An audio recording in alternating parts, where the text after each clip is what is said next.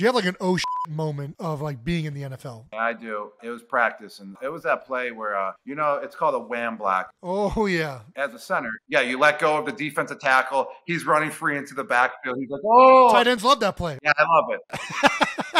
I'm in training camp as a rookie, and uh, Vince Wilfork. Oh my gosh. I was just about to say it had to be Wilfork, man. I guarantee he knew. He's like, okay, there's a tight end off the ball right here. I know exactly what's coming. I think they told him, "Yo, Gronk is going to try to wham block you. Let's see what he's all about. Light him up." Oh my gosh. So he goes like steps two feet, playing it like he doesn't know. Oh my god. That dude lowered his shoulder and just gave me the biggest hit of my career. One line back, four yards. Oh no. But everyone came up to me and they were like, "No one else would run into that guy, and you just did it." Way to f- send it, Rob. That's right, baby. I love it.